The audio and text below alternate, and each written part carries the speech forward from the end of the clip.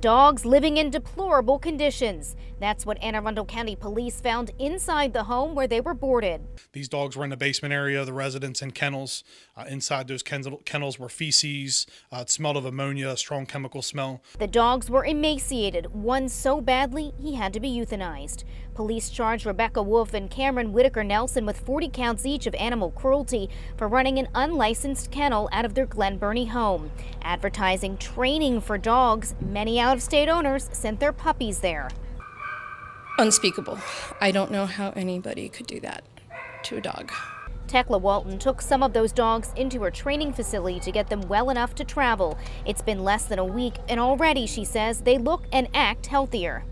They came in blank stares, um, just not sure of their world. And um, just with even in 24 hours, they really started to warm up.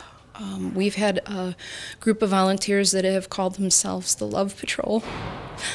And they've been coming by three times a day to supplement the care that my staff and I are giving them.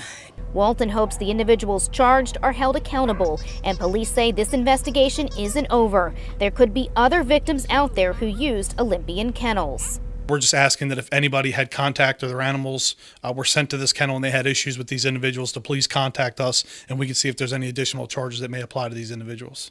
I think something needs to be done. I, I, I hope that they're prosecuted to the fullest extent of the law.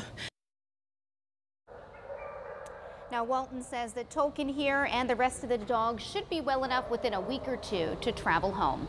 Reporting live in Elkridge, Kim Dacey, WBAL TV 11 News.